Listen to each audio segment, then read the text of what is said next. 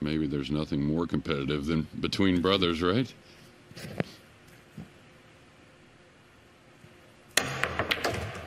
Nice shot there.